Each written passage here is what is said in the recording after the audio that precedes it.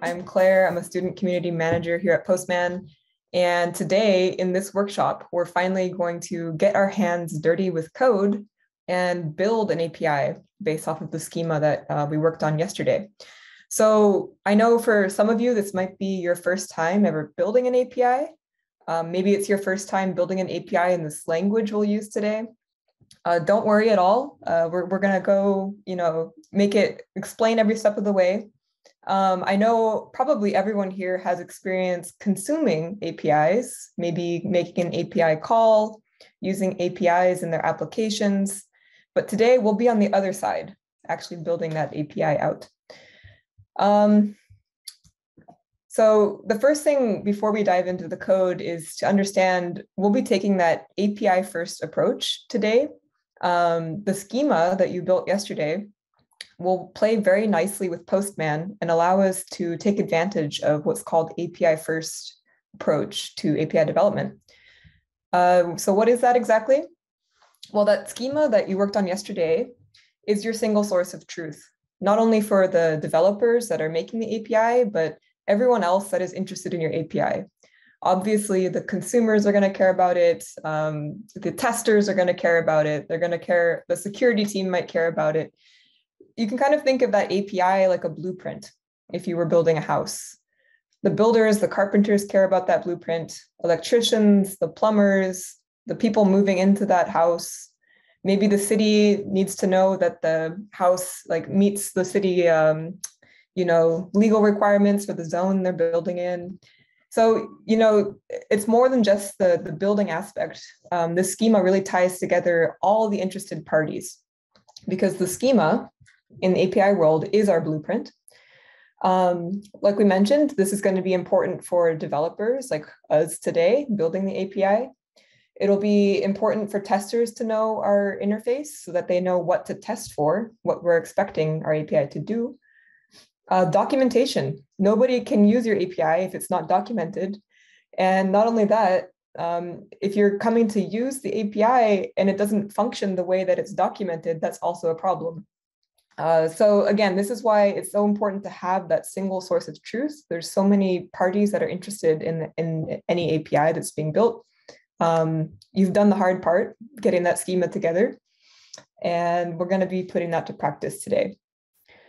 So how can Postman help us uh, building out our API in an API first way? Well, every step of the way, Postman is here to kind of hold our hands we are going to create an API in Postman like we did yesterday, a little bit of a review. We'll use that to generate some tests for while we're coding our API, we can use those tests to you know, debug as we go, make sure we're building the API um, as we expect it to work.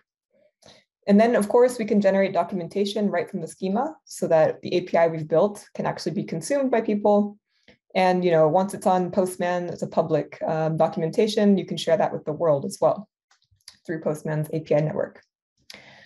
All right, so how do we actually build an API? And let me just get the chat open here so I don't miss any questions.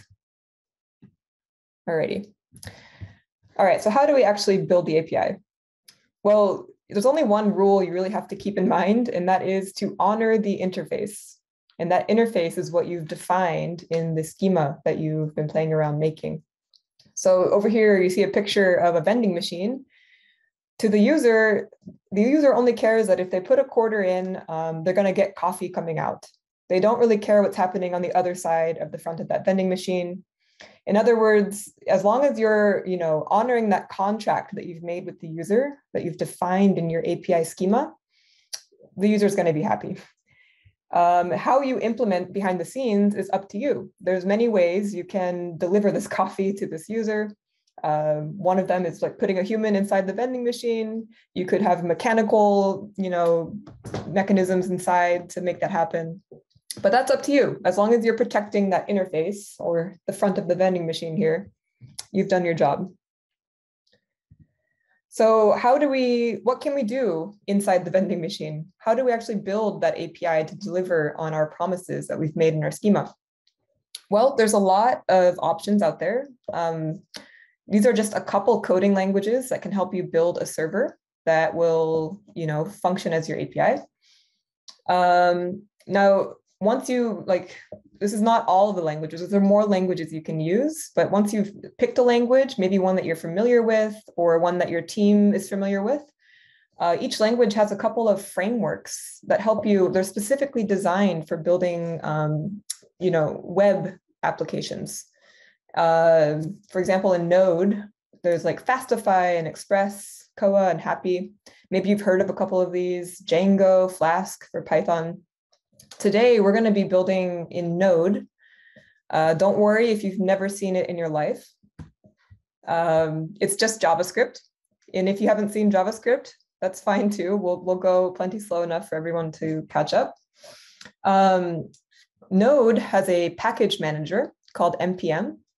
This is our tool that we'll use to help get some library dependencies, some utilities that will help us build our project. And finally, we'll be using a web framework called Fastify, which is specifically designed for helping you build APIs quickly in Node.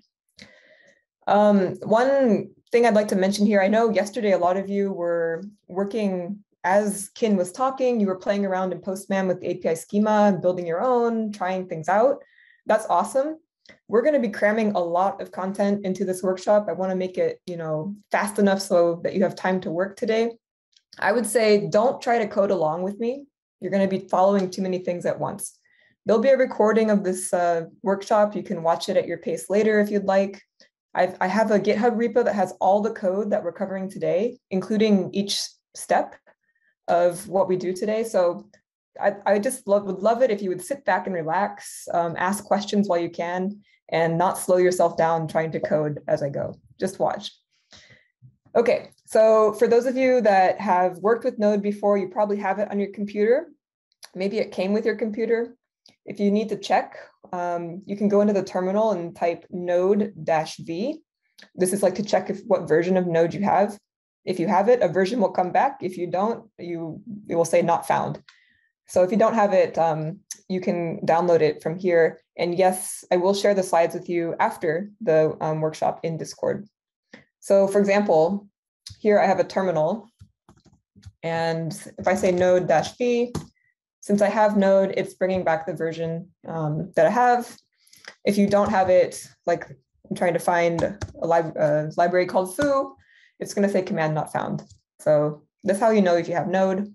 Once you have Node, it comes with that npm package manager, so you already have everything you need. All right. Okay, so what are we doing? Well, we have the restaurants API schema from yesterday that Kin helped us make.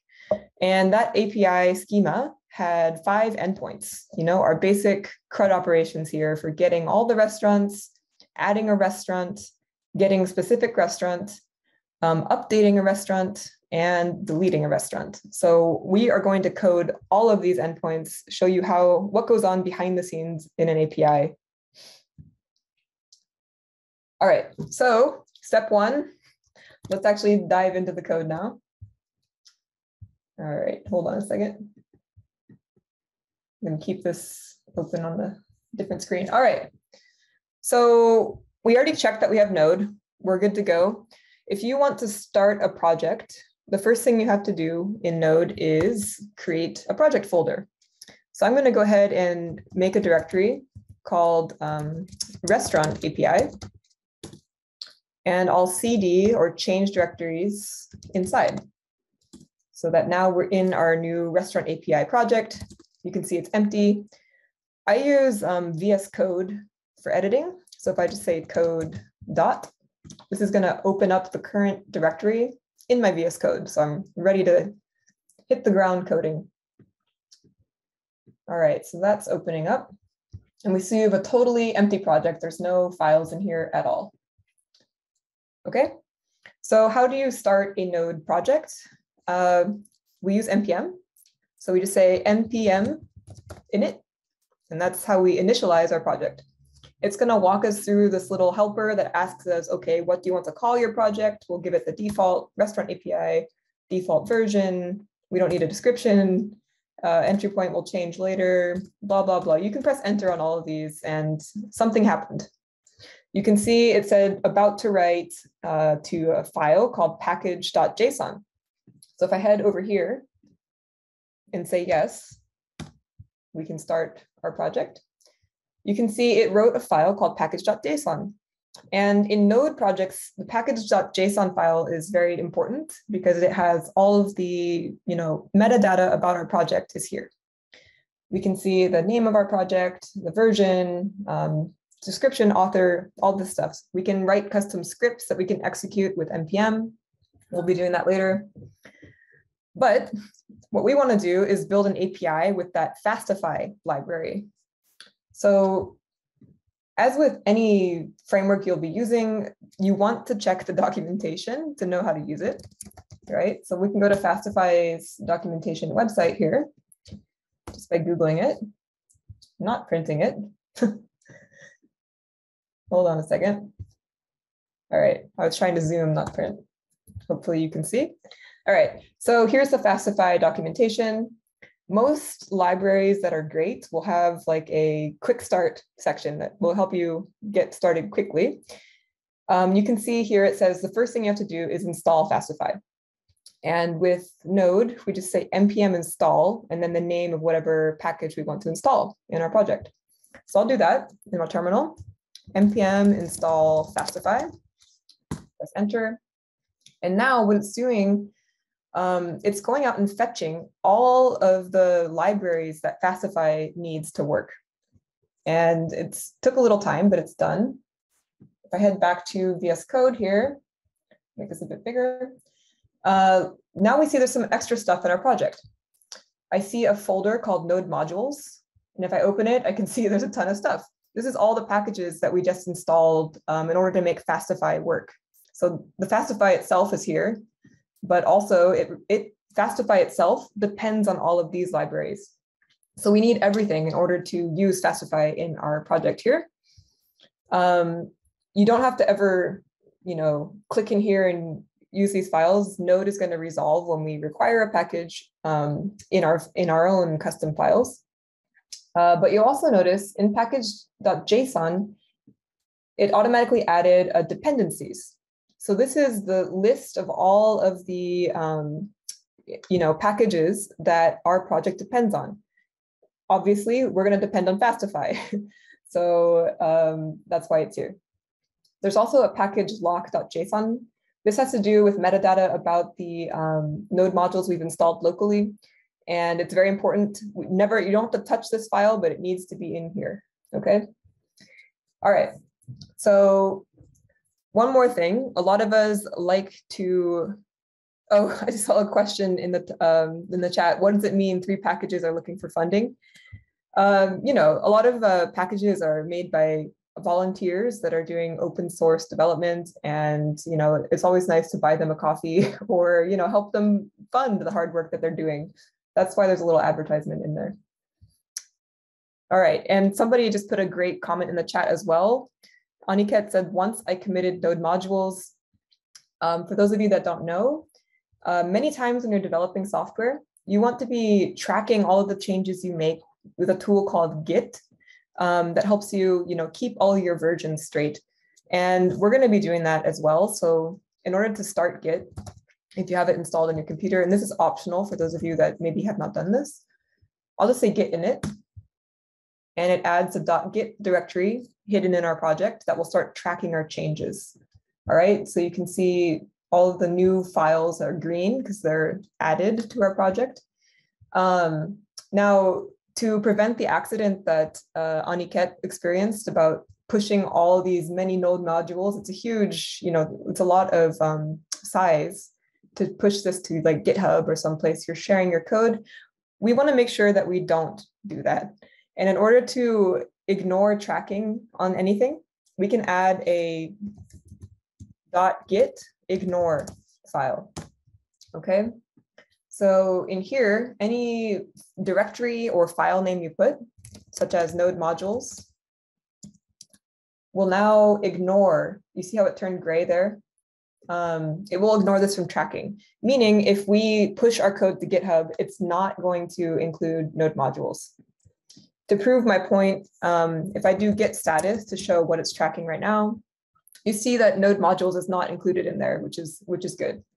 So yeah, that's an extra thing. Like if you're going to use Git in your project, just remember that. All right. Okay, so how are we actually going to get started here? We have installed Fastify, as we see here in our dependencies. So we can start using that in our project. How do we use it? Maybe it's your first time. So we're going to use the documentation. It says here, create a server.js file and add the following content. So I'm just going to copy all this and we'll look at it in the editor here. Now, it's really up to us how we want to architecture our project, what types of naming conventions we want to use. Again, um, the implementation is up to us. We're deciding how to do the inner workings of the vending machine, right? As long as we protect our interface with the API.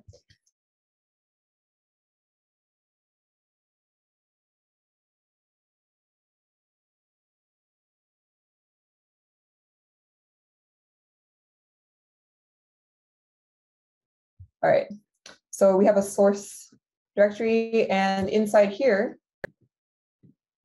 I'm going to add that server.js file. And this is where we're going to start coding our server. I'm going to paste the code that we copied from Fastify. And we'll, let's take a look at that. So the first line up here, it says const fastify. So const is short for constant, and it's a way of defining a variable in JavaScript or node that doesn't change. So uh, we've defined a variable called fastify. And this require statement is how we import packages from our node modules. So we have a package called fastify. We're importing it with the require statement and saving it to a variable called fastify. We've also added a little config. It's given us the instruction to add. Logger is a tool that it's much fancier than like a, your average console log. It has a bunch of extra data um, that will help us with debugging. Okay, but here's where we finally get to something that looks a little familiar to us. Here, we're declaring a route. And a route is the same thing as like a path on your API. So we're making a get path route. Um, and when you're getting the root of the API, whatever comes in the next argument is your handler. So it's what you do when a request is made to get slash, okay? now, Fastify, the framework, will give us two objects to work with in our handler. The first is the request object. This is going to represent um, the requests that the client made. It will also give us um, a response object. It's called reply here. Um, this will allow us to send something back to the, you know, to the client. And whatever we put inside here is going to be what our API does, you know, to handle that request. All right, so one important thing to note here is um, you can call this whatever you want, these two parameters. Here it's called request and reply. You could call it potato and banana. That's not very useful for you or for other developers. Um, I just want to get you familiar with a convention that's used oftentimes when coding APIs. Um, the request object is called request, like R-E-Q, just req. And the response object is usually called RES. So this req and res. It really doesn't matter. It's just a nice convention. I like it because it's short and uh, as long as you're consistent, uh, that's fine. And don't use potato banana. That's not going to help anyone. All right. So what's happening inside? We're returning an object that says hello world here. So what's going to happen is whenever someone makes a GET request to our API, it's going to return a response of hello world. All right. And down here is where we actually start our server. We define a function called start. And this is um, something about JavaScript.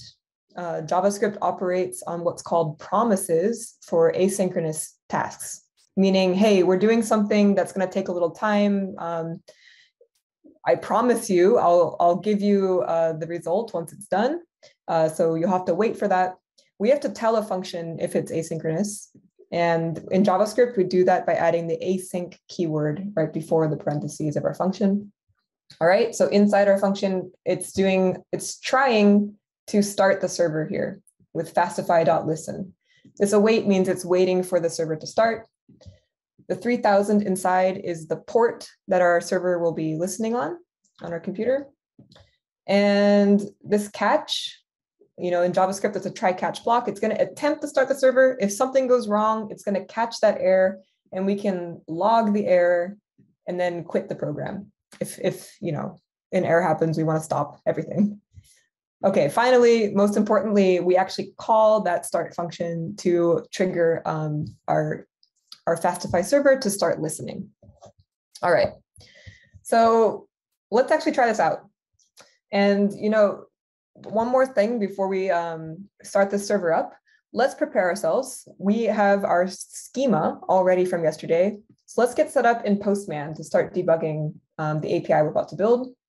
I'm going to head to postman.com Oops, it always takes me to the marketing website because my bookmarks.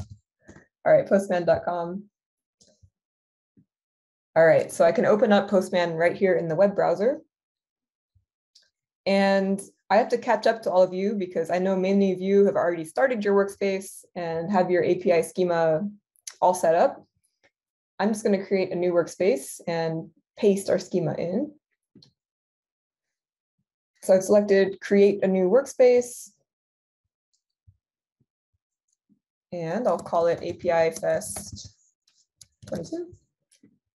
Um, I'll make it just a team workspace for now. All right, so right now our workspace is empty. I'm going to create an API. We'll call it the restaurant API. And the version is 1.0.0, not 10. We're getting ahead of ourselves. And we'll do the OpenAPI 3 YAML schema that you worked on yesterday, create API. All right, so that's building up. I'm going to go copy the schema that. Oops. All right, copy the schema. Close this dialog. Here we can head into our version one of our API.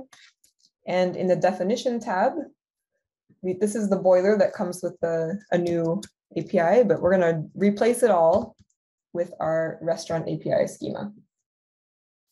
Now this might be a little small. Let me get this a bit bigger here. All right. So this should be pretty familiar. Um, you can see those five paths that Kin introduced yesterday, get post, uh, get an individual restaurant, update a restaurant, and delete a restaurant. All of it is here. Uh, what might be a little different is how I define a restaurant, um, depending on you know how you guys played around with it afterwards yesterday. Maybe you added your own properties. I added um, each restaurant object has an ID, a name, a cuisine, and a boolean whether or not it has takeout. So those are like the properties on my restaurants. Um, feel free to add your own properties to whatever you know schema you're building. But that's what we'll be working with today. All right, so in order to set, set ourselves up for debugging, I'm going to do exactly what Kin showed you yesterday, is to generate a collection based off of our schema. We're going to generate um, a test the API, a test collection, and I'll call it restaurant API test and generate that collection. So Postman is looking at our schema and generating requests based off of our, you know, how we've defined each request and our examples. And I can see here we have our API tests. If I open the restaurants folder, I can see all of those requests um, from our schema. Um, we'll be using this to debug. Um, first and foremost, if I click on the API tests folder here, this is our collection, excuse me. If I go to the variables tab, it has base URL all set up for us. Um, but in our schema, we had defined the base or one of our servers as api.example.com. We don't own that domain, so I don't think it does anything for us. What we will have is a local server that I'll boot up in a second um, in order to, you know, actually try hitting our API. So let's get there. We've pasted the Fastify getting started code here. In order to get started here, um, with Node, if you want to run a, a, file, you just type node and then the path to that file. So we'll say source slash server.js. All right, press enter. And you'll see after a second, our server booted up. It is now actively listening and waiting for requests. And here it says server listening at http slash slash blah, blah, blah, blah, blah. Um, this blah, blah, blah number is actually a special number. Uh, whenever you see the IP address 127.0.0.1, this means it's your local server or your local host on your computer, meaning you all can go try and access this URL, but that has nothing to do with what you're gonna, um, my computer. Like you have your own local servers. My local server is currently on port 3000, actively listening for requests to our Fastify server here. All right, so let's give it a try. I'm gonna copy this URL and we'll take it to Postman, put it as our current value for our base URL. So now um, let's go ahead and just add a temporary request for our test, uh, our hello world request. So I'll say add request here. I'll name it hello world. And it's a get request to the base URL, our local host right now, and then just slash, right? What we're trying to hit here is this endpoint, right? The get slash endpoint. And if I press send, hopefully we'll get back a hello world response. And we do. We get a status 200 response back. All right. Now, a couple of things. Um, you know, Fastify is pretty flexible. Right now, we've only said return hello world, and it knows, okay, it wants to give us a 200 response back. It's giving it to us in JSON. It's doing that all behind the scenes. Another way to do this and actually use the response object that's given to us is, make this a bit bigger. Instead of return, I can say response dot send. Same thing. Okay, and put that inside the send uh, parentheses. Let me a bit bigger. Okay. Now let's go ahead and change this a little bit. Maybe say yo world and let's send our request again in Postman. Do you expect it to be the same or to change? Well, we're getting the exact same thing that we had before. And you see every time I click this, it's hitting our server and it's logging a request. However, once your server is booted, it's booted at the snapshot of the time that you started your server, right? So any change that we're making inside of here is not going to be reflected until we restart our server. So in order to restart the server, you can you can kill any pro process in a server with control, or excuse me, in the terminal with control C on most operating systems. Um, so now you see we're back, we're out of a, the server is done. So if I want to start it again, we can type again node server, oops, I guess it was source server.js. We started the server again with the new uh, saved data. So now if we send it, we're getting yo world back. Now you can see as a developer, this is going to get old very fast, having to, you know, kill the server every time we make a change so we can test it again. Node has a great tool that will automatically listen for any change in our code and restart the server for us. That tool is called Nodemon. I think that's how you say it at least. Um, so I'm going to go ahead and install that real quick using npm. So I'll say npm install, and you know, there's a couple of different types of dependencies when you're developing. There's the dependencies that your server needs at, um, in production and at runtime, but there's some dependencies you only need in development, such as the one we're using to build our API. This Nodemon, um, we only need in development. So I'm going to use npm's dash dash save dash dev. This means, hey, save this package as a dev dependency. Our server doesn't does not rely on this um, library. All right. And I see some uh, questions in the chat here. Can we send HTML code? Yeah, your API, whatever your contract is, if you promise to send back HTML, you can send HTML um, as a response for sure. All right, we just installed Nodemon. I can see in package.json, it's added a new field called dev dependencies. So not regular dependencies, that are just for development. And Nodemon is here. Nodemon works exactly like Node. Um, we can say Nodemon, uh, oh, excuse me. I wanted to introduce one more thing. We've been typing like node source server.js up until now. That also gets old. We can use scripts in package.json to give a nickname to this command here.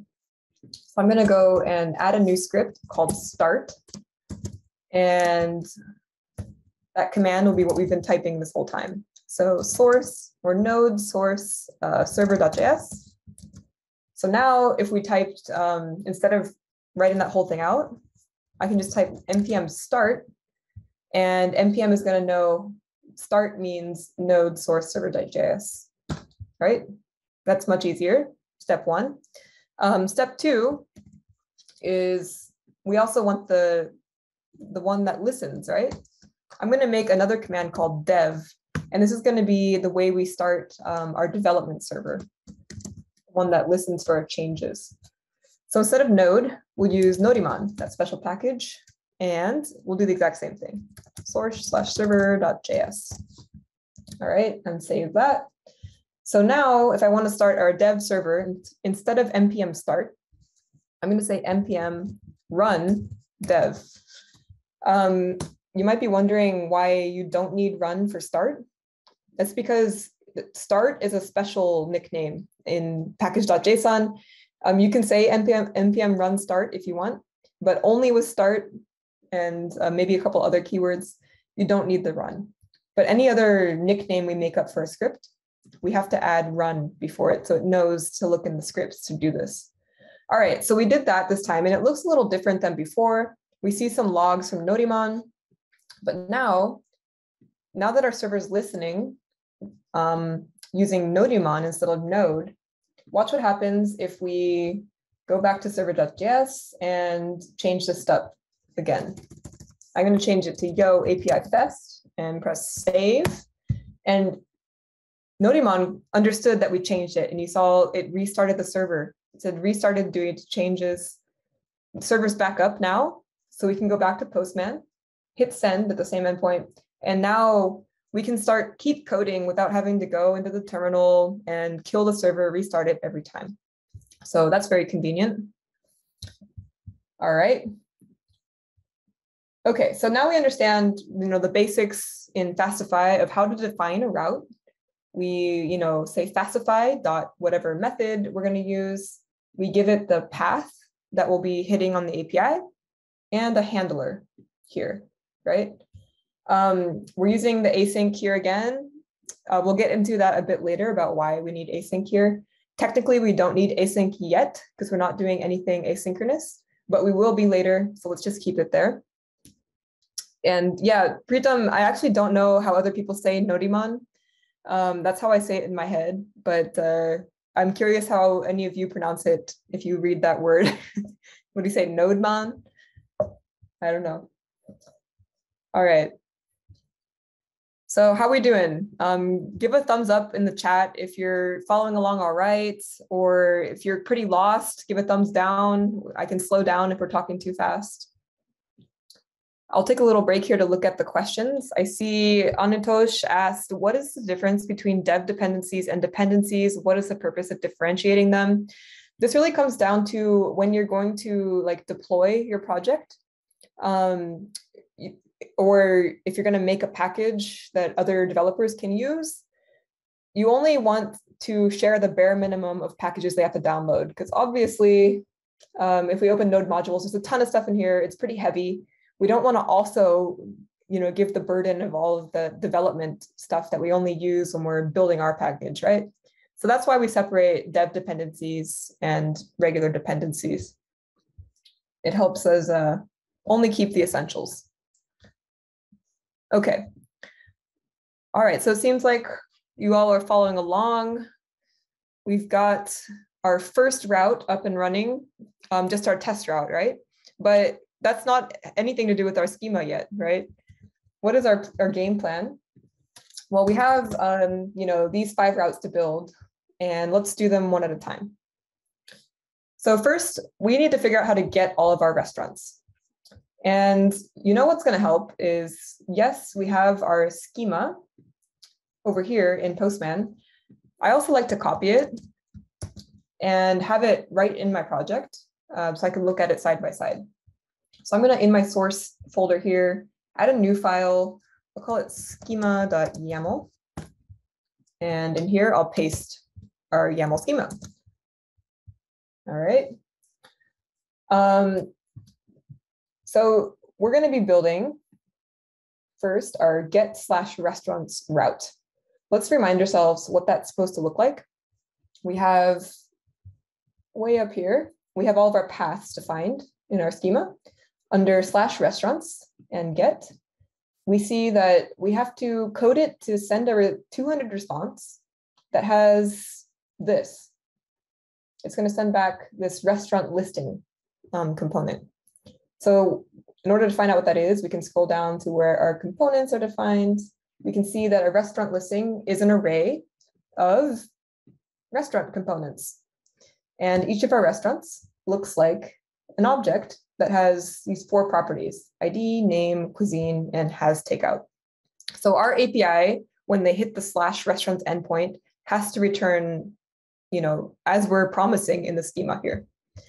So let's go ahead and try that out. Head back to server.js. And right under here, we'll add a new route by saying fastify.get. And the first thing is define the path. It's slash restaurants. Well, let's put it inside the quotes. Slash restaurants. Okay.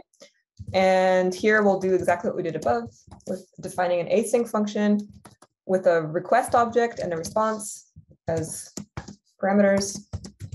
And inside of our function, we'll code sending back the restaurants. So our mission here is to send back an array of restaurants, right? Um, we can do that with response dot send. Uh, but where are our restaurants? We'll have to make a little temporary database of restaurants here in our um, server. Um, I'm just going to define a, an array in memory here. So you could say const or let. Um, I might be changing this in the future, so I'm going to call it let for now. This is for a, defining a variable that can change. We'll name this array restaurants and just initialize it as an empty array here. Okay. Um, I'm going to copy our variable name and make sure that's what we're sending back in our response. So when we hit get restaurants, it's going to send back a response with the array of restaurants here. All right, so since we have Nodemon or Nodemon, however you want to say it, our server has been restarting this whole time that we've been making changes when I hit save. So now um, I can delete this little hello world test request we had.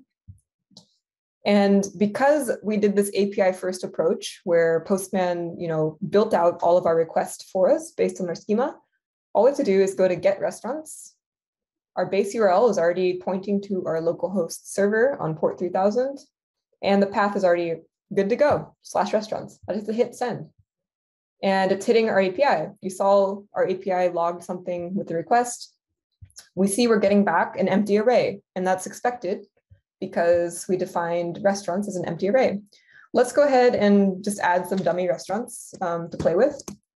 Um, we can make an, a, an ID of ABC, a name of um, Puerto Viejo.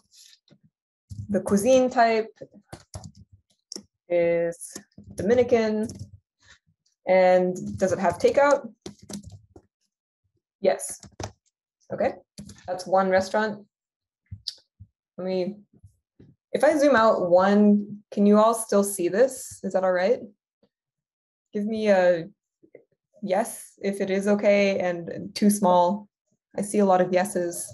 All right, this is a little less claustrophobic, so let's go ahead this way. All right, so we have one restaurant. How about two? I'll just copy this line make this ABCDEF. Uh, we can make this one called Sadas the cuisine is Japanese. It has takeout false. All right. Oop. All right. So now we have two restaurants in our database. our server has been restarting to apply our changes. I just hit send again. And now we're actually getting some restaurants back from our API. So congratulations, we, we're starting um, to see our schema take shape. We've already knocked out the first route. All right, so let's head back. We have a couple more to finish here. I'm just gonna copy what we had. Oh, you know what? Let's just type it up. So it's cool that we can get all the restaurants, but how do we add a restaurant to our little database here? Let's do that next by doing our post request. So we'll say fastify.post and the route here is still restaurants. The method is different this time with post. And our handler with our request and response object is there. What do we have to do in order to add a restaurant? The first thing is we have to, you know, get the new restaurant's properties, right? Then we have to add the restaurant to our database. Finally, we have to send something back to the user, to the client. Um, and what do we send back? Well, that's what our schema will tell us, right? Um, let's go ahead and look at our post restaurants request. So the response we need to have sent back is a 201 response with the new restaurant that we've just um, just created. So, excuse me, here we'll say send back the new restaurant as a 201 response, okay? So first things first, how do we get the new restaurant properties? Well, our schema is expecting a request body, right? We define that in the schema. And we can see because we had a body defined in our schema, Postman's already given us like an example body to try this out with. Um, there's some funny looking, you know, Latin in here, but at least the data types match our schema. These are strings and then take out as a Boolean.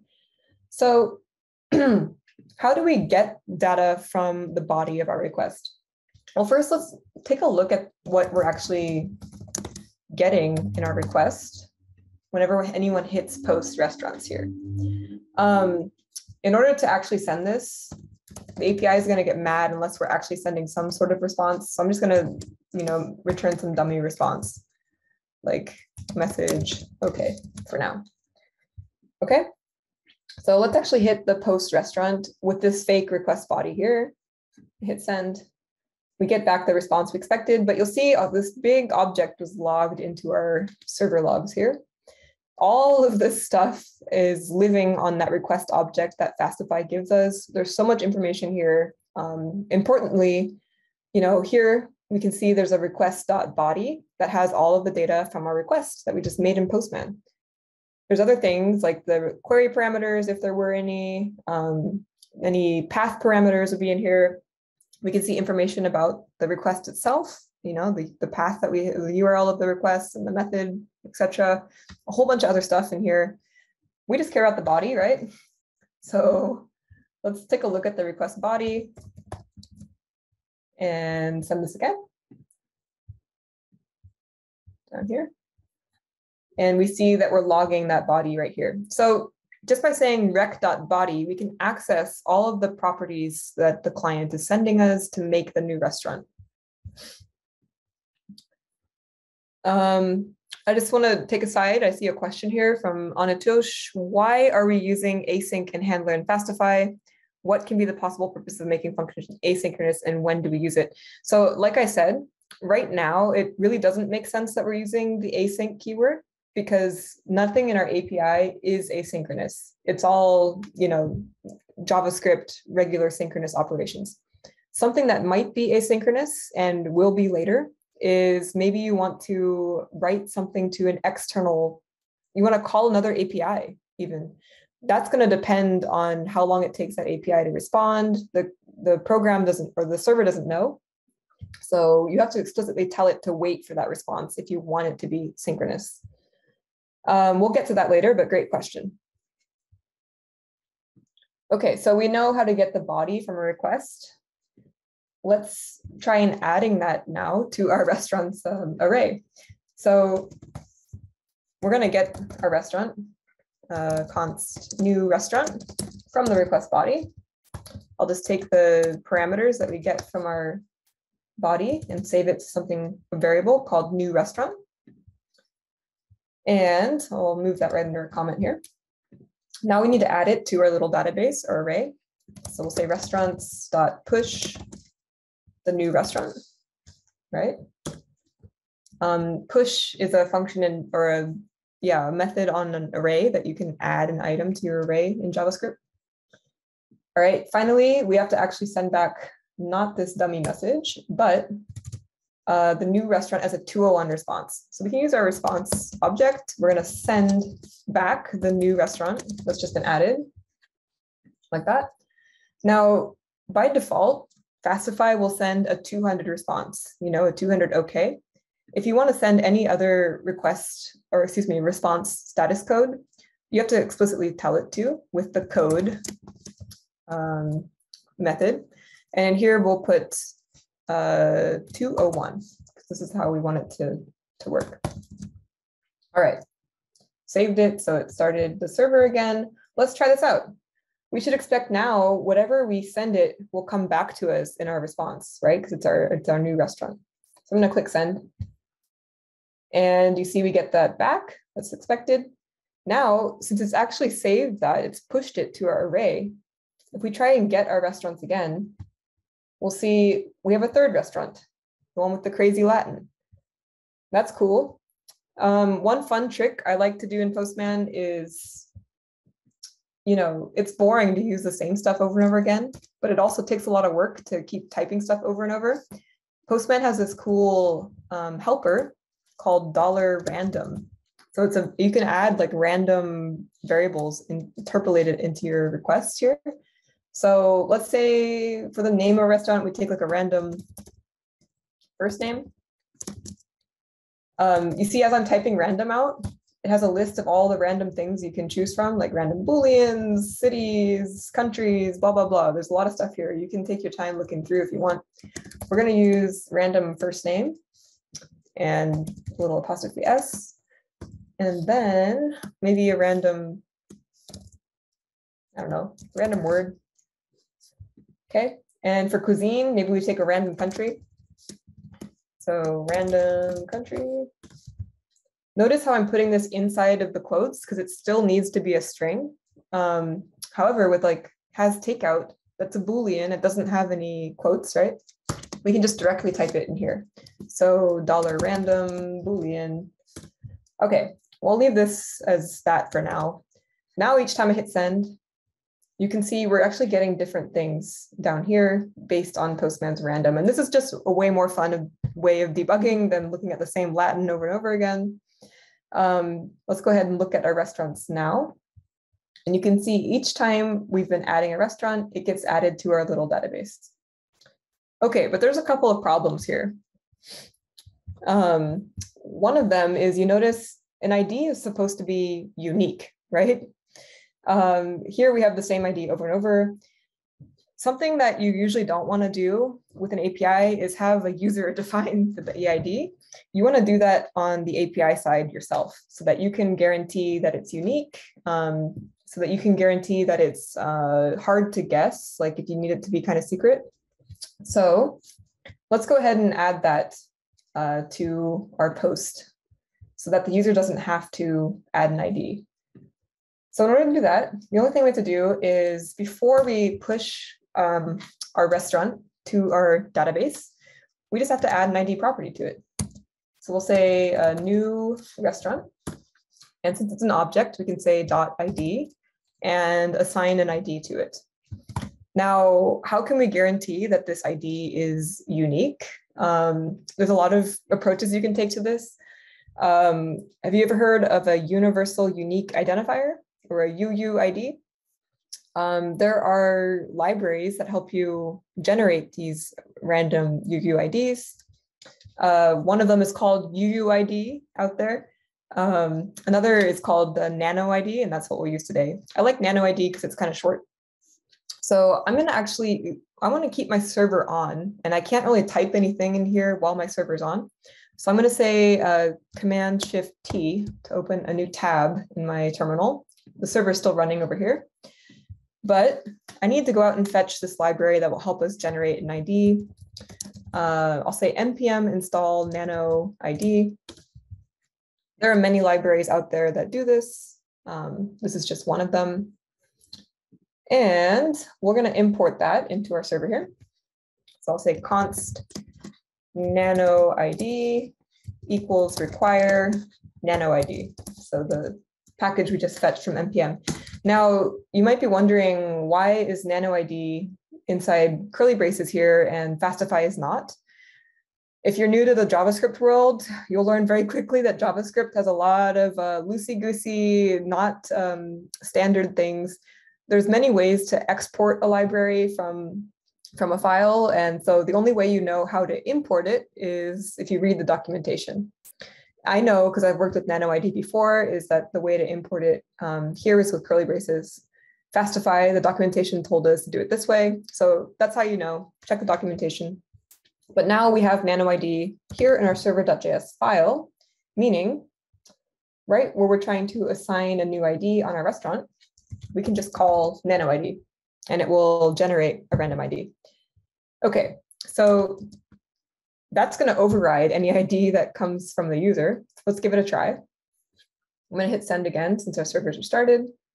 And now we see every time that we send it, we're actually getting a random ID and the user doesn't have to enter anything. In fact, we should get rid of this because it's misleading, right? We only care about the name, cuisine, and whether or not it has takeout from the user.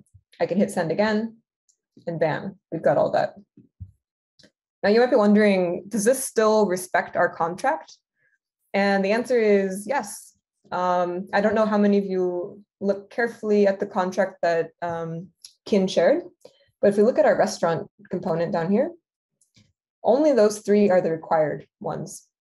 ID is optional. Um, if you look up here for the post request, yeah, it's respecting a request body that has a restaurant. And remember, ID is optional on our restaurant object. So even though the ID is missing, it still aligns with our schema, and that's fine.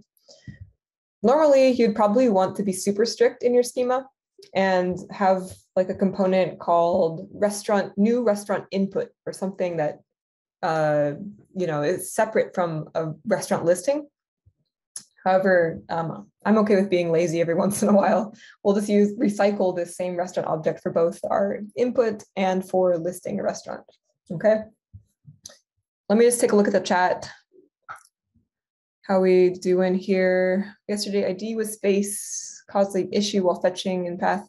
Right. So Sahil just mentioned um, IDs usually don't have spaces because that's going to mess up a path if you have a path in your ID, or excuse me, an ID in your path we got rid of that um, crazy Latin example that Postman spit out. Now all of our IDs are definitely not going to have spaces because Nano ID does not put spaces in the ID. Uh, Anantush says UUID package can also help. Yeah, there's there's hundreds of packages out there that will generate IDs. JavaScript is always in panic mode. Yes, developers of JavaScript are also in panic mode. Uh, another question here, can we use numbers in ID and numbers should be auto increment? yeah there's you can use any system you want um, for you know creating unique identifiers like one two three four five is fine too one thing to note about that though is if you use incremental identifiers it's easier for a hacker to come and like scrape all the data from your database like if you have user id 1 id 2 id 3 id 4 it's easy for them to like write a script and just add one to the user's ID and you know get all of your user data, for example. So typically what's nice about these random IDs is that they're very hard to guess. And once you have one, doesn't mean you can just add one to find the next user or entity. So I recommend using UUID when you can. It's more secure. Um, how is name generating random? We're doing that with Postman's helper you see these double curlies and it says dollar random. Um, you can do like random words, random booleans, like we um, demonstrated earlier. And this is built into Postman. Yeah, it's a, um, I believe it uses the Faker library under the hood. Which is better, Fastify or Express? Um, that's up for debate. Express is going to give you, I, I chose Fastify because um, there's less configuration you have to do to get it working. If you want more hands-on, like, you know, driving a stick shift car as opposed to an automatic car, Express can be good for really customizing stuff. Fastify is great for getting started quickly. You don't have to worry about error handling. It has it built in. Um, request validation we'll get to in a second. Uh, you'll see, uh, we'll be touching on some of these later. Um, Faker is not gone, by the way. Uh, it's still around. There was a brief interruption. Okay, um, where were we? Where were we? We had just made our post request and we have our ID saving and everything. So great, we've knocked another route off of our list. Now we're going to move into these last three real quickly. All right, so here in server, where are we here? We need to add getting a restaurant. So we'll say fastify dot get. Our route here is going to be slash restaurants. Oh, if I spell restaurant right, and then ID. And we'll use the colon here to tell Fastify this is a path variable. Whatever comes after that slash right there, we're going to nickname it ID so we can grab it from our request parameters, right? So we'll do that in our handler. I'll say async req res. All right. And in here we need to do what? First, we have to, you know, get that ID from the params so we know which restaurant we're trying to find. Then we have to actually find it, find the restaurant. Right? Okay. Finally, we have to return the restaurant. Uh, with the caveat being it has to exist in order for us to return it, right? Uh, so if it doesn't, we'll say if exists. Or if it doesn't exist, then we return a 404 not found. If not exists, right?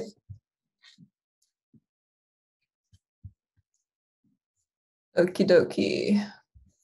So first things first, uh, how do we get the ID from the parameters? Well, let's take a look again at console log our req.params. Remember we saw that when we were looking at the request object earlier?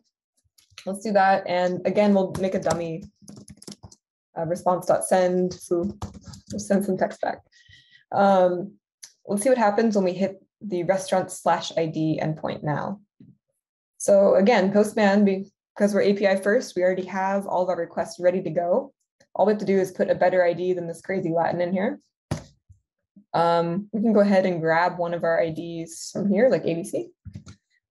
Go back to our get request and put the ID ABC here.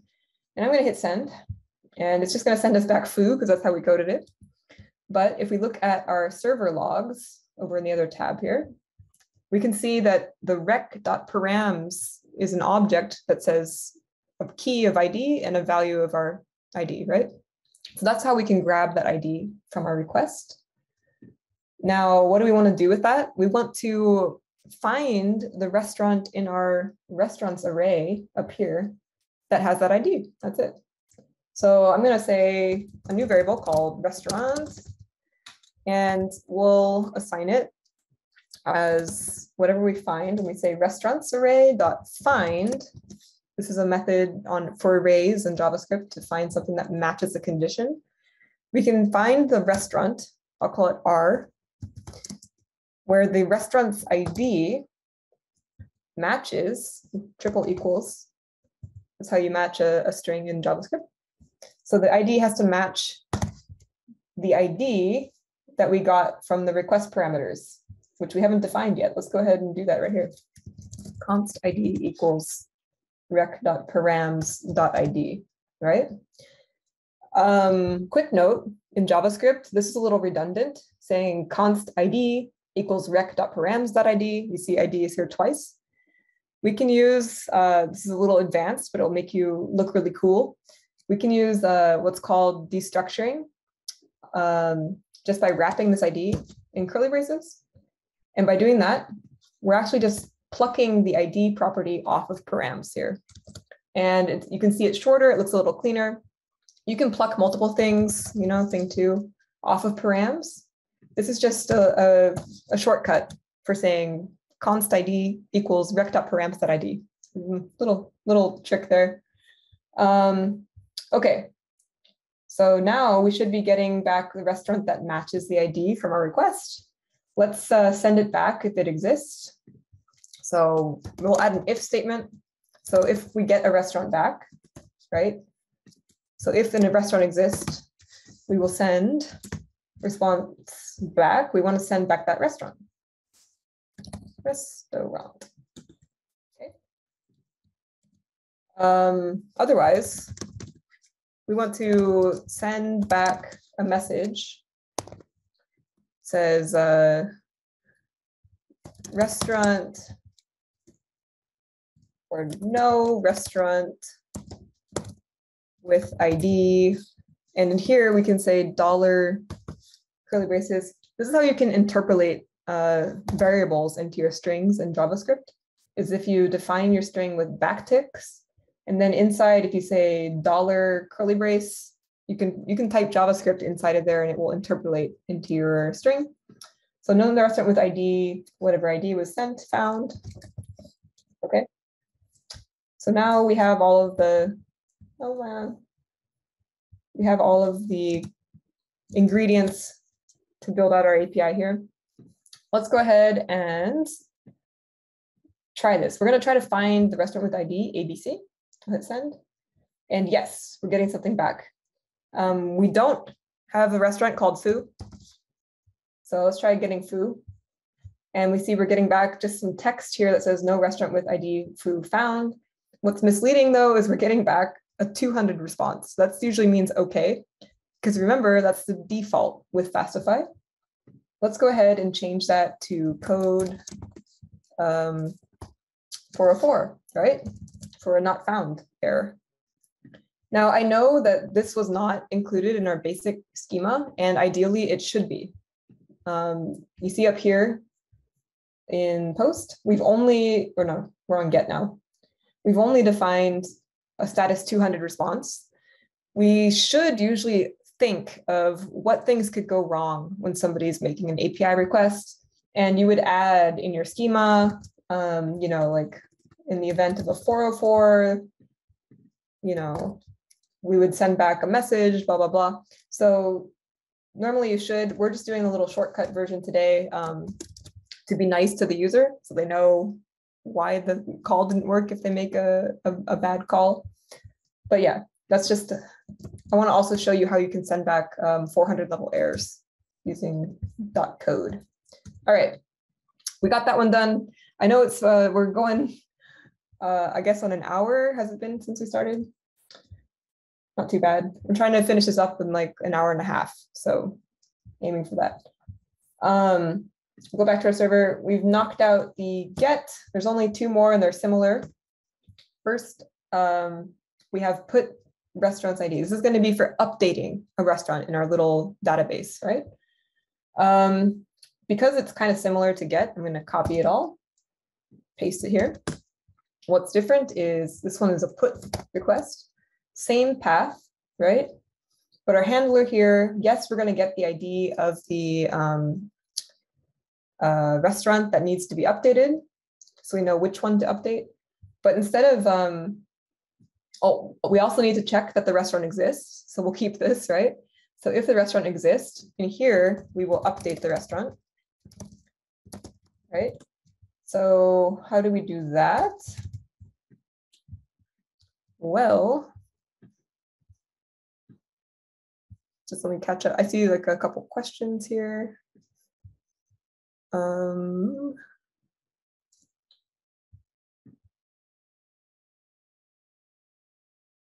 are any artifacts shared after the session? So yes, like I would love it if you not be coding along, you can just pay attention and relax because we'll send the slides. We're going to send all the code. Don't, don't worry about it. Um, we just got a good question here. Difference between post and put. So again, first of all, these are all totally conventional um, as you can see, we choose what happens when you hit uh, get blah, blah, blah, or post blah, blah, blah. We control everything that happens in our API. The conventions are with post, we use that if you're adding something new to your, you know, record storage. So for example, when we're adding a restaurant, that's a new restaurant. Put is for, you know, changing existing information. So we're going to be updating a restaurant. That's why we use put. Okay, great question. Um, I just realized with JavaScript, in order to update um, an item in an array, we have to know the index of that item, right? Um, uh, also, if that index doesn't exist, because like we had like a bad ID, we'll know that it doesn't exist. So let's go ahead. Instead of getting the restaurant here, I'm going to delete all this. And we're going to say like found index because we're going to go through our entire array of restaurants and see if that ID exists. So we'll go through our restaurants array and we'll say um, find index. Here we are. And we can find an index that matches some condition. Again, we'll say R for restaurant, and we'll find the restaurant with the ID that matches our ID from the parameters, right? So what's going to happen here is whatever ID comes in on our request parameters, we're going to cycle through our database and find the one that matches um, one of our restaurants. And it's going to return this find index function will return the index of that item.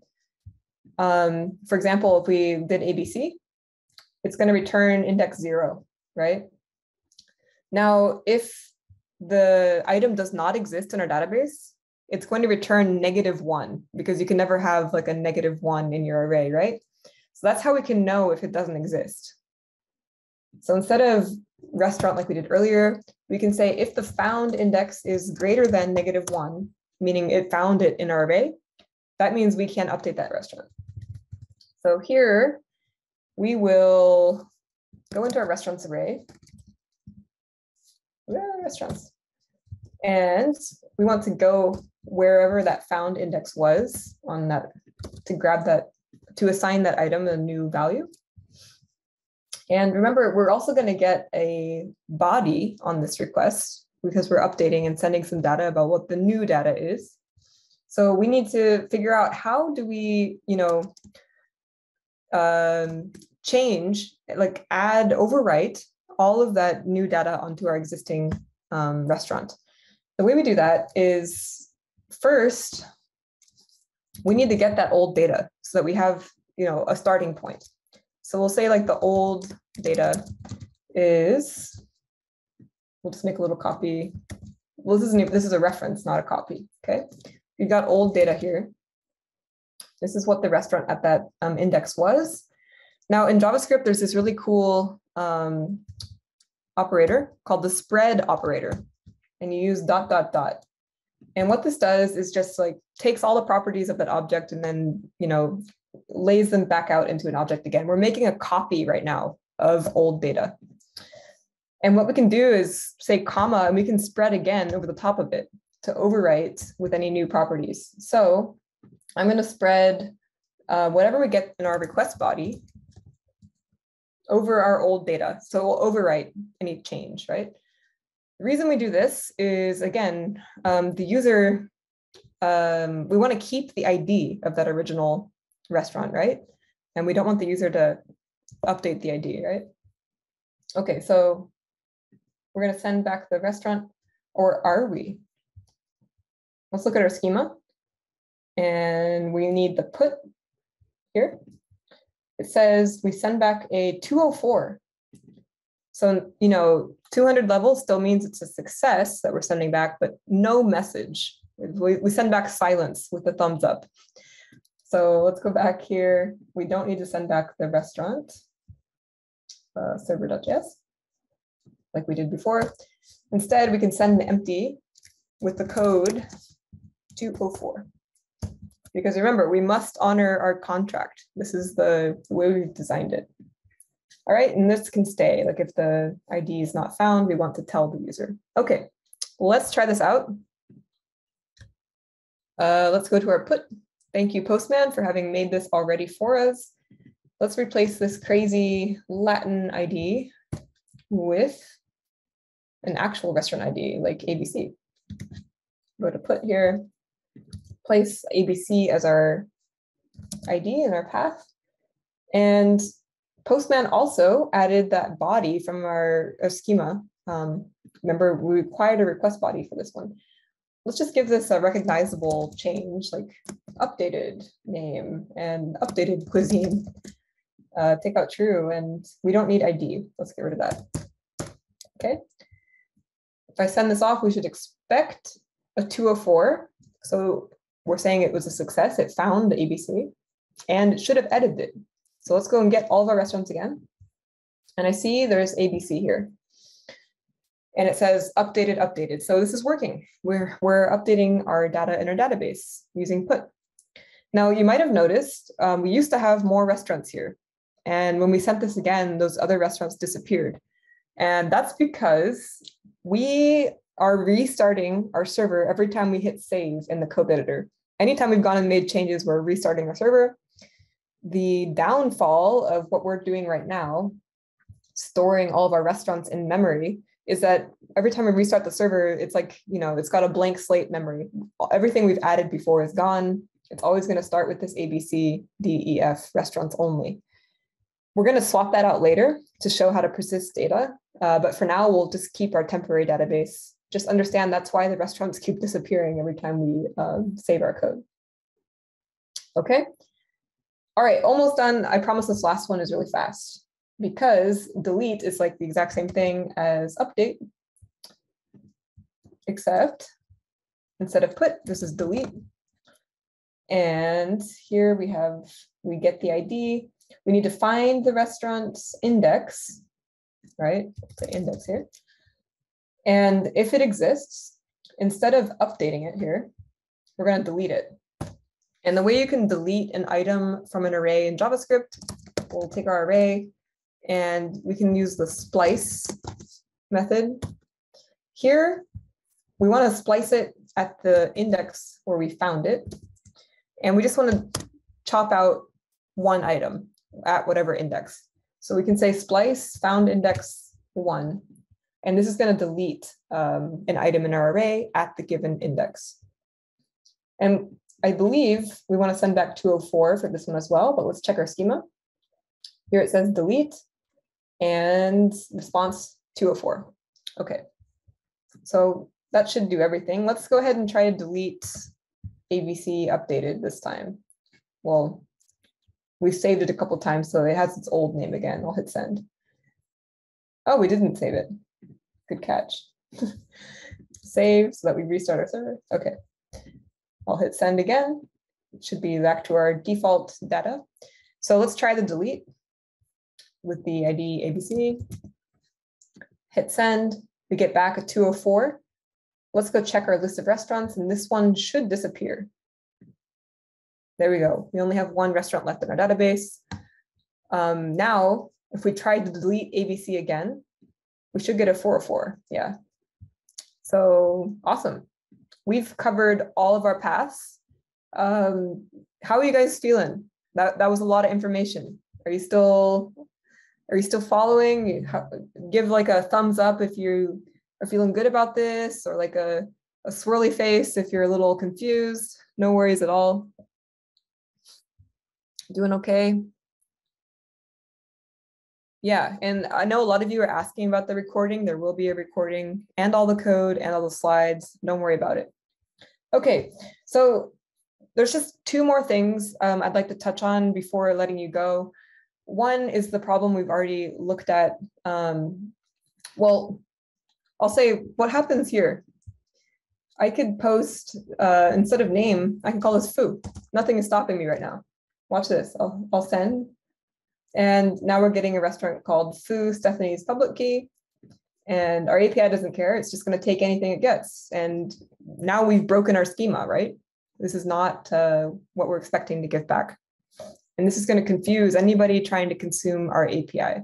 So we need to protect our requests with what's called validation. So we need to validate our requests. And there's a lot of ways you can validate requests in APIs you know, one way is manually, like you can um, check and like if there's no if there's no ID in the parameters, then you can like throw some error that's like a, and or send certain response codes back, etc. Usually if like a parameter is missing, you want to send back like a 400 level error, that's a client error for a bad request. Um, Fastify itself has a native validation tool. So if we look at the Fastify documentation here, go to docs, and down here, there's a validation somewhere. There. Um, validation section here. Um, you can see like on a post request, you can add a schema and tell it what it's expecting. You can do that there. But um, since we're API first, we've already defined our whole schema for our API. So there's a way for Fastify to know what to expect and to automatically send back like a 400 level error if somebody sends a bad request in, okay? And there's a library out there called Fastify Open API Glue. And maybe whichever framework you're using might have something similar. I know Express has an open API um, handler for validating your request as well. Um, here, it's this little package called Fastify Open API Glue. We um, set some options on it, pointing to our API spec, which we have in our project now, and then defining a service, like how to handle requests um, based on our spec, okay?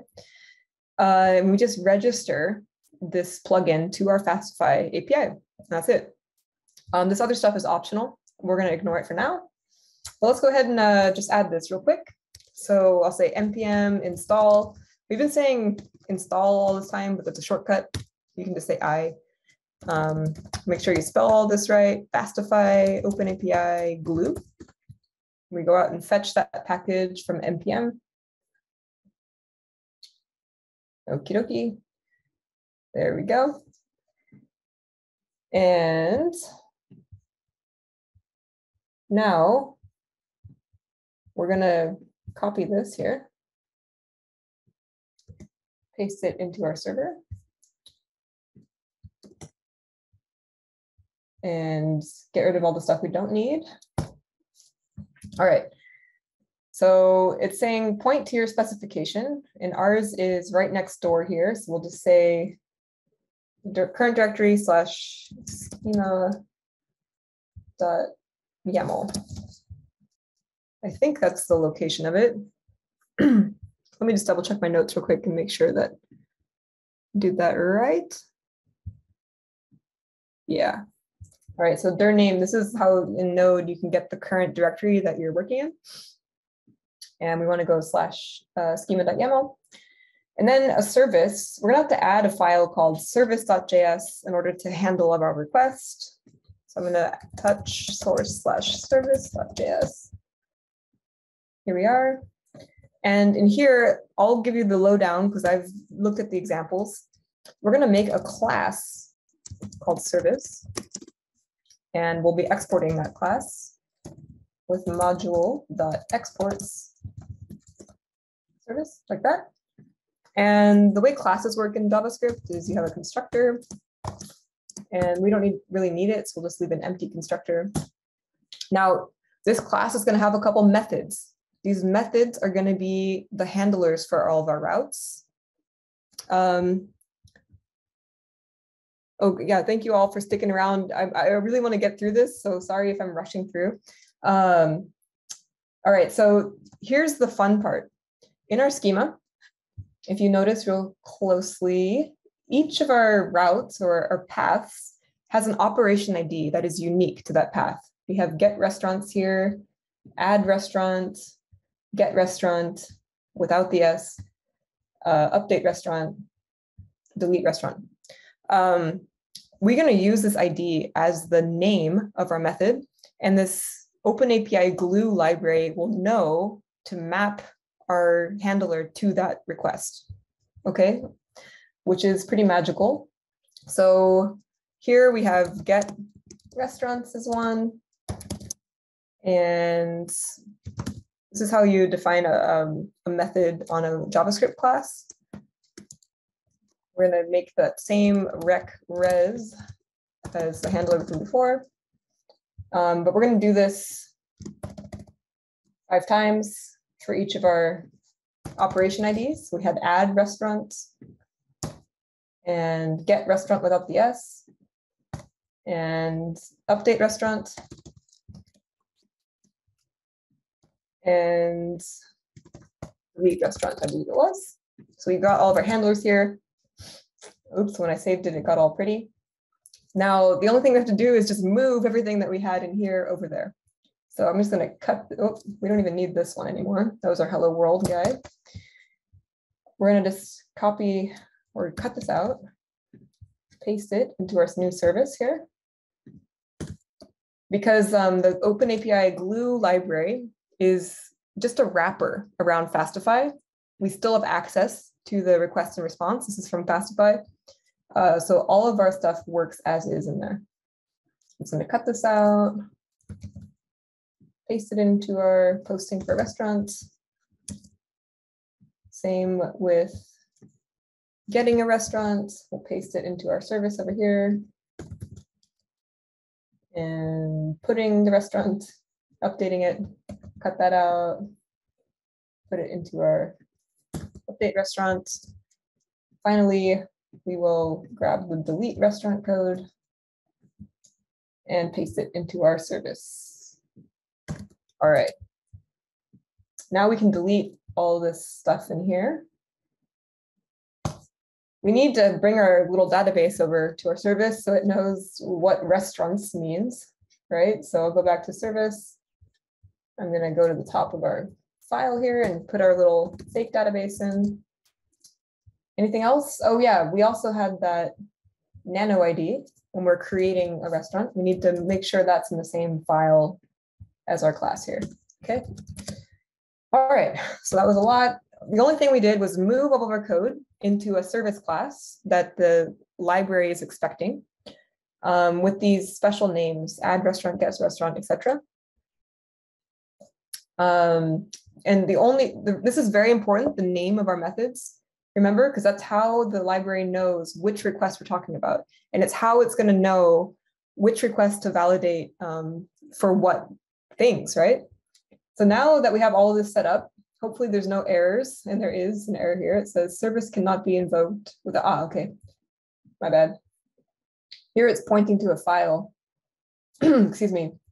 Um, we need to actually require that. So let's get our service from next door. So we'll require dot slash to make sure it's in our project. If you have no um, path, if it's just uh, directly imported like up here, it thinks it's a node module. So we need to make sure it knows it's a local file and say uh, service.js. so we're importing our service. Now we need to create an instance of it like that by saying new service. And if, if this doesn't make sense, that's okay. This is kind of an advanced concept and you will have the code later. You can copy this whole thing and you know use it in your project if you'd like as long as you understand, um, you know, why we're doing this. All right, so now the errors are gone. We can go back into Postman and just make sure we're actually getting our restaurants again. Awesome, back to our default restaurants here. Um, but now let's say we do try to mess it up. Let's try and send our, our foo instead of name. See what happens. Aha, it won't let us now. Um, now we're getting a 400 bad request. The only reason is because of our schema. Um, it says right here, body must have the required property name. This is super handy because now all of our requests are having this validation, making sure that our users are entering the right type of data. And again, it's because we have a single source of truth that this library knows how to handle all of our requests. All right, so that's why we do request validation. Um, last thing, okay, I know it is, uh, I guess we're hitting the hour and a half mark now. Would you guys have the energy just to learn how to do a little database connection so that we don't lose every time we restart our server? And I know this is like, I think it's a very important topic to cover because um, you have such a short time in this uh, API Fest. If you know how to do this, hopefully it will help you. All right, as you know, every time our server restarts, we're losing all of our restaurants, right? we keep coming back to these two. There's a, we have to persist our data somehow beyond the session of our server starting. And we can do that with uh, a database. Now there's tons of database options out there. Let's take a little look. Um, yeah, there's there's tons of database options out there. Maybe you've heard of like PostgreSQL, MongoDB, Redis, or you know, there's other like NoSQLs like Firebase, etc. You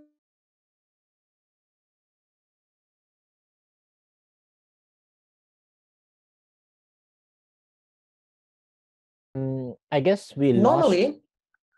Lost, uh, Oh, hey. we lost you for some time, Okay, for a minute, for a minute. Yeah. for a minute. All right. Uh, do you know what I last said? or Redis. Oh, okay, you didn't lose me that long. Okay, yeah. I was just saying there's a couple different types of databases. We will do MongoDB here as our example, um, just because it's so quick and easy to set up. So if you've never done anything, um, here's how you can do MongoDB. Um, now, normally you would want to set up your project so that you have like a local database where you're working in your project on your computer only with a special database. To be quick today, we're going to use a remote database that's hosted in the cloud, um, which is great for production. Normally, you wouldn't use it for development, um, but just to save time, we're going to do that because it's a little complicated to set up a local database. Okay. Um, there's a couple of free services out there that will hope host your database for you.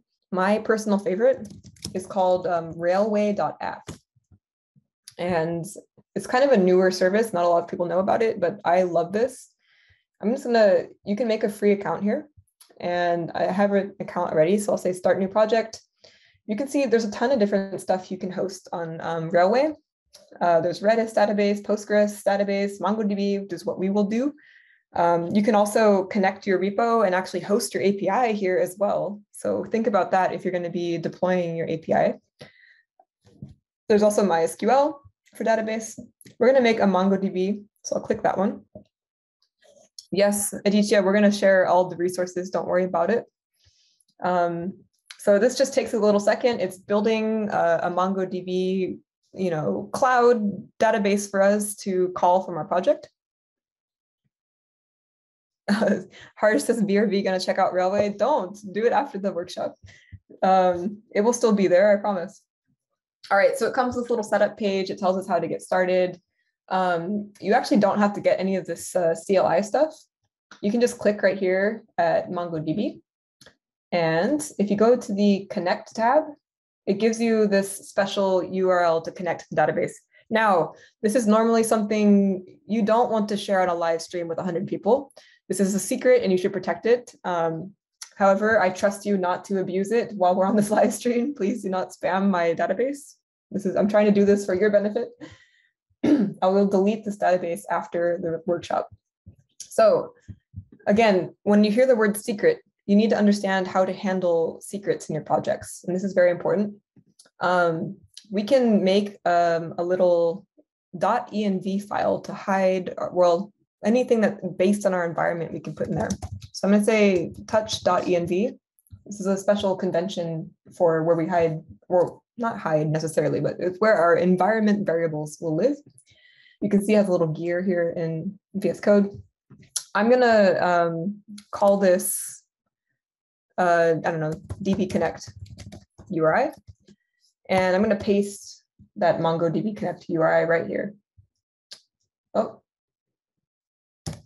just without the quotes there. Okay. All right. So it starts with MongoDB protocol slash slash, right?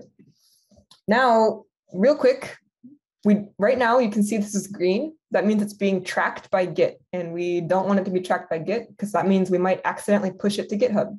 So we're going to add this file .env to our git ignore. It should turn gray. Great. So now it's not being tracked by Git. Our secret is safe here. A quick good practice is I like to copy or duplicate, I guess copy this file and rename it to like .env .example so that you know yourself in the future if you have this project on a new computer because .env is not pushed to GitHub you will forget that you need this maybe. So having this example checked into GitHub without the secret just leave it blank like this this will be a reminder to you in the future to add this in your project or to another developer that they need to have a URI in order to use your project. Okay, so this does nothing, it's just kind of a helper where, we're actually saving our variable in dotenv. Okay, how do we actually use this secret in our project? In Node, there's a special package called .env for .env. I'm going to install that real quick. Now we have if I click on package.json, you'll see we have dotenv saved here. And to use that in our project, um, anywhere we type process.env, we have access to all those variables in that file. So I could say like uh, db, what was it? Connect URI. And just to prove my point, I'm just going to console log this so we can see it real quick. this is a good thing to do to check and make sure that your dot .env is connected which we haven't done yet. So first we have to require the dotenv package. And we can just directly from here say dot .config. This is going to set up, um, it's going to pull all of those environment variables and make them accessible in our project from this file. So now, because we've done this line six here, we can use process.env. Dot whatever variable name was in our .env file here, right? Let's make sure this works before we continue. I'm going to save our server file here. We should expect some MongoDB to be logged here. So go back here. And yeah, it already restarted the server. We can see that it's now logging uh, our value here. So it's connected. We're great. But we're not connected to our database yet because we need to, uh, once our server starts, we need to make sure that uh, we, we call our database to connect to it, okay? And the way we do that is with, this is the last library we're gonna add. I promise we're almost there. Thank you for your patience. Um, yeah.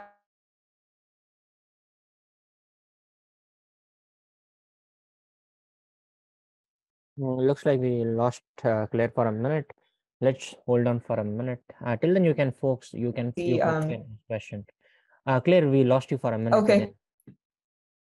Hey, sorry about that. My internet's not great. No problem. I was just saying, um, Anatush said it right in the chat. We're going to use a library called Mongoose to talk to our MongoDB database that's up in the cloud. Um, I just did npm install Mongoose, so we have it now in our project.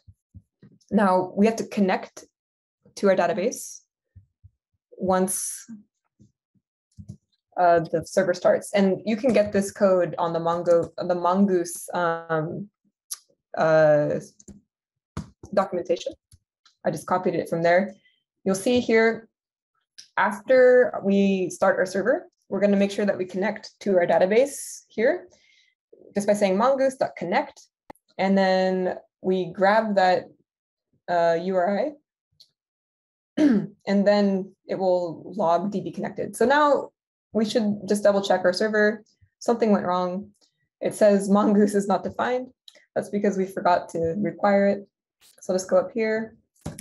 const mongoose equals require mongoose. And hopefully that will satisfy it. Good. So not only is our server started, but now it says MongoDB connected. So great. We're now connected to the database with this connect URI in the cloud. We're actually talking to that one we just made in Railway, which is awesome. But so far we aren't using the database, right? so with um, with Mongoose, we can create something.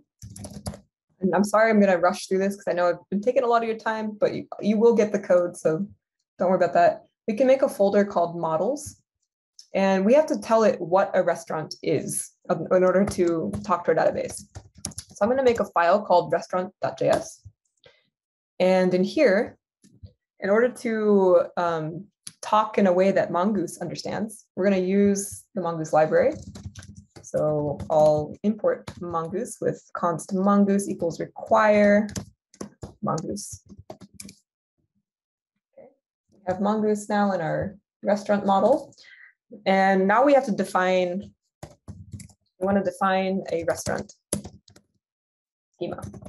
This is a mongoose schema, not an open API schema, okay? So we'll call this restaurant schema, a new variable, and we'll make a new mongoose schema. Now you don't have to remember this. All of this is in the mongoose documentation. Um, and of course, you can reference my code if you're doing something similar. We need to tell it what does a restaurant look like. We know our restaurant has a name that is a string. We know our restaurant has a cuisine, which is also a string. And without the S, it also has has takeout, which is a Boolean. Okay. All right, that's it. The only thing we have to do is make sure that we export this. So module.exports equal mongoose.model. We make a model out of our restaurant. We have to give it a name. Restaurant. This is so hard to spell restaurant. There we go. And once we've given it a name, we just give it the schema as a second argument. So what this does is it turns whatever we've built here, our schema, into a model using the model function. Um, and it gives it the name of what we give it here. So finally, we have a model that we can use to talk to our database about restaurants. Okay, so real, real quick, we're just going to convert, we're going to ditch our our old DB. Goodbye. And we're just going to replace our functions in here with the mongoose way of talking to, to our database. Okay, so now, um, again, this is going to be in the mongoose documentation about how exactly to get everything. Instead of our array of restaurants being stored in our server, we're going to get it from the database. So we'll make a new variable called restaurants. And finally, you know, somebody asked earlier, why is this stuff async? Well, now we have an external dependency. We have to go call Mongoose over the network, and we need to wait for that response to come back. So in JavaScript, when we're making an asynchronous function call, we use the await keyword if we want to wait for it to come back. And we're going to take the restaurant model that we just made in the other file. Here it just imported it for me and we'll use dot find on the restaurant. And that's going to, you know, get all of the restaurants in our um, database. You know, if you put something in here, like if I wanted to find it by the ID, I could say with the ID of ABC. But we want to get them all. So if you leave it empty like that, it will get all of the records. And then we want to we want to spell restaurants right. um, we're going to return it just the same. Okay, um, I'm just gonna show you real quick. Uh, I, I need to put this back in here in order to show you um, without breaking the API. Let's just like add in here like foo bar. Okay. Um, oh, we'll have to call this something else. We'll just call it R for now. Ah. Okay because it was colliding with that name. I just want to show you what happens now. We have our local restaurants with the foo bar. What happens now if we hit Postman, save and restart? We should expect to get an empty array, not something with foo, because our database is empty right now. So I'm going to go back to Postman, get all of our restaurants, and it should now be empty. Look at that. It's not using this local foo anymore, but it is connecting to a remote database. That's awesome just need to finish the rest of them real quick. Run this. Uh, any place where we're doing talking to a database, we're going to replace it with our Mongo stuff. So instead of restaurants.push, which we had before, we're going to add a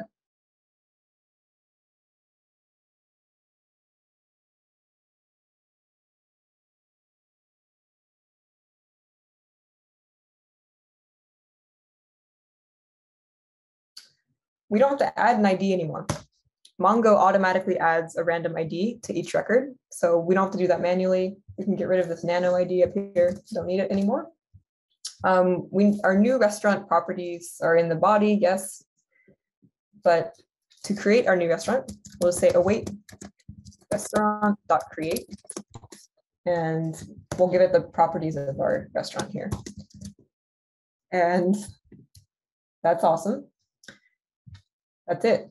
We've now got our new restaurant here and we can just send it back. It's much easier, right? Um,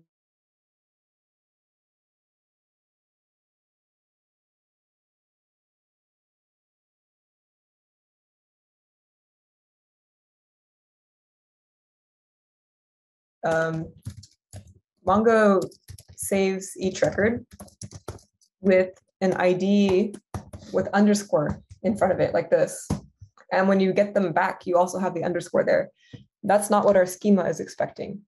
So there's just a really quick hack um, you can find online to when you're connecting your database, you can configure it a little bit to send back. Oh, I got Lennon saying it's lagging. Yeah, I'm so sorry. My internet seems to be a little weak right now. Um, can you guys still hear me? We're so, so close. I promise we're going to finish soon. Can you hear me? All right. Awesome. Um, so like I said, uh, there's a quick hack we can do to convert that underscore ID into just ID. And, you know, I had to find this online. I'm just going to copy paste it and you can copy paste from me. My gift to you. Uh, you'll have this code, don't worry. So in our server.js, right after we connect to the database, um, we're going to do this configuration. All it's doing is like whenever we're converting something to JSON uh, in our response, it's going to create a virtual ID based off of the underscore ID and transform it um, from that. So you don't have to understand how this works at all. To be honest, I don't really. Um, but I know that this works. So this is a little patch. You can copy it for me later. All right. So now we don't have to worry about this underscore ID thing. Real quick, let's uh, try this out. We're going to send to our post request to make a new restaurant. Uh, body must have a property name. That's because we're stuck on foo here. Back to name. Okay, now we've added a new restaurant. We're getting back a Mongo ID. We could send a couple more. All right. Now we can get our restaurants because we've coded that one. Hopefully this isn't empty anymore. Bam, we're getting real, you know, database data from our remote MongoDB. And that means we can kill our server. All right, and we can start it again. npm run dev. And we shouldn't have lost these. We click send again. We still have our, our data and it's persisting. Okay. So really um, there's like, there's like two more in here, you know, or three, I guess, for getting a restaurant and updating a restaurant, deleting a restaurant. Um, we we haven't updated our old code yet. I feel like I've gone quite a bit over time. Um, so you can just look at how we change like each of these three lines in the example code if you'd like. Uh, Omkar saying it's interesting. We want to extend a bit more but also understand what will be possible for you. Like it's fine for me. I just feel bad because it's been two hours now that you've been listening almost. Do you want to do like the last three or how you doing? You got no issues? Well, if anybody does have to like, you know, take a little break or, you know, go do some other meeting, that's fine. Um, there'll be a recording, but I'm just gonna plow through this, okay? Uh, first time doing this workshop, I learned it's a bit longer to teach than I anticipated. Um, that's all right. It's an experience. All right. Just to make sure that I leave you understanding everything, let's go and code those last ones real quick. all right. Next one is getting a restaurant. Uh, here, would you would you want to take a five minute break because you have also been speaking for straight up two hours, right? Uh, yeah, sure. I'll I'll we'll take a little break. I'll answer a couple of the questions. Um, feel free to go grab some water and you know, stop your head from spinning. I know it's a lot of information we've covered. Yeah. Someone yeah, has an yeah. exam, we have to leave. All right. No problem, Sean. Um, look at the code later if you want to fill the, the final gaps. It will all be there. Yeah. Yeah, um, um, yeah, it's it's it's really full of learning. Um, so if you have any questions right now, we might want to take it up, right? Um, else we will just kind of you know do a little water break of five minutes. Uh, it's it's almost twelve right now, so we'll, start at twelve zero five. Uh, meanwhile, um, have you folks been tweeting? I see a lot of tweets out there. Um, you know, share your learnings, what you have learned from this workshop. I've learned a lot. Uh, you know, this is a really good refresher. Um, so yeah, thank you, Claire, for that. Thank you for your patience. I it went faster in my head. it's always different when you do it out loud. Yeah, yeah, but but I guess yesterday also, you know, with the Ken's workshop, um, it, it's something which which I I feel should happen so that you know attendees would be like, oh, okay this is how i debug it okay if that happens with me right if everything goes perfectly you know it's just never going to happen right yeah that's right i mean sometimes live debugging is valuable too um exactly. you know everything we showed with like request validation if that was like over your head don't worry about it that can be an extra thing maybe you don't do that in the short um, hackathon we have of course, the database thing is pretty important if you want to save your data. So if anything, choose that feature. Yeah. We got a question okay. here. Don't we need to commit the MongoDB session? Like how do you when you normally interact with the database? um, so because our MongoDB is in the cloud um, and we're connecting to that database when we start our server, that's down here, right? Um, Mongoose, this library is awesome because I think it's going to disconnect when our server um, turns off and it's going to connect when it turns on because we coded it too. So we don't have to worry about that.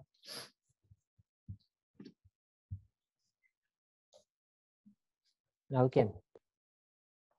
All right. So before the session, I didn't know a single thing about Fastify, and now you can create. Yeah, you know, we not only can you create a basic API, we're doing like pretty advanced stuff here. Um, you can create a pretty robust API now. Um, all right, I'm going to continue if that's okay. Has it been, or is, is it too early? I guess we should probably um, wait. Yeah, yeah, yeah. I guess you know you can continue because we have had a, a good two minute break. So yeah, yeah. Just just have something to drink and then continue.